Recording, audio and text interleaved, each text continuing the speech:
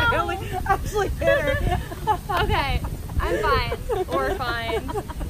I mean, I'm great. Okay, I mean I hurt a little bit, but it's all good. We're we're in St. Pete today, as you can see, and we're super excited because because it's Pride Weekend this week, guys. Woo! We have a start kickoff party on the 19th at Sirata Beach Resort. If you don't know where that is, it's on St. Pete Beach, kind of close to PCI. I feel like that's a good reference point for most And of you. it's free, right? Yes. you. Free! From 7 to 9, guys. There's obviously a ton of Pride events going on all weekend, but of course the parade, which we all can't wait for.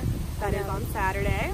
Yeah, Mhm. June 22nd. It starts at 2, the party, but the actual parade starts at 7.15. That's good to know. Mhm. And uh, where is it on on Bayshore Drive, I believe? Yeah, in downtown. So Yeah. So near the Vinoy. Yeah, it's gonna be a party. Bring out your best rainbow, Best. Your most colorful rainbow. your Yes. most colorful colors. just be you. Love is love, guys. Yeah, love is love. Next, we have Summerfest, and that is also taking place on Saturday, but on the opposite side of town. That'll be in Zephyrhills. Wow. Yeah. Yeah, it starts with a morning market, which is really cute, and then it goes on all day. So late that it'll be dark out, and you can see fireworks over the lake. Perfect way to kick off the summer because I believe Yeah, summer summer starts this week, guys. Yeah, officially. It does. And there's a watermelon contest, so you can Refresh, refresh yourself. for kids and adults. Totally kid friendly, family friendly. Lots Bounce of houses. yeah, face painting, Yeah, balloon twisting. yeah, and more. Definitely check that out, guys, Yeah. if you want Yes. a family fun event. Oh, and it's it's free. Duh. Free is always the best. You get all of these fun activities for free. Yes. Incredible. We love that. We love free stuff. don't we? We do. It's definitely worth the drive if you don't live anywhere near Zephyrhills. Next, we have movie night, guys. Where's It's at? Westfield Mall in Citrus Park Ooh. at the Macy's Court. It's a part of their Happy Camper event, and if you guys haven't been, it's so cute. It is so cute, and they have all of these different characters, like different setup. Like they have a green turf, and like it looks like a camp setup, but it's indoors. It's so adorable. And when you go see the movie, which is free again, by the way, And it's Free. Camp Rock. Yeah, it's every Friday for this month. yeah, But Camp Rock is one of them. it is one of them. But definitely bring a blanket, a, A lawn chair chair. to go on the turf, relax. You get free popcorn. Yeah. So what are the movies we got? How to Train Your Dragon. That's Camp one. Rock is one of them. And the Parent Trap, which is my ultimate favorite. Oh, Love. so good. But so's Camp Rock. We rock, we rock on. I like How to Train Your Dragon too. Toothless is really Toothless cute. is so yeah. cute. Yeah, Toothless is a cutie. Family The Demi. Lovato.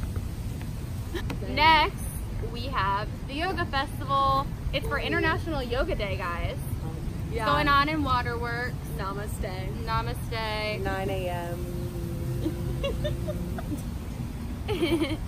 There's a ton of instructors doing like 30 minute sessions. So, all you yogis, go there. There'll be Healthy, healthy, local food. Healthy local food. good vibes, good music, good people, good food. Yeah, it's free. Oh, it's dona- it's donation based, so definitely you know bring some money to donate. Bring some cash money. definitely donate because it goes to um, the West. The Westchase Charitable Foundation. Yeah, and that that helps families in Tampa Bay. So great cause. Great time. Namaste. Namaste. Next, we have the Art and Technology Showcase that is spread out throughout downtown Clearwater. It is such a cool event. When I heard about it, I got so excited because there's going to be different things like virtual reality. Oh, that's There's so a ton of virtual Yeah. reality stuff like gaming. You can go to like something where it's do with Dali.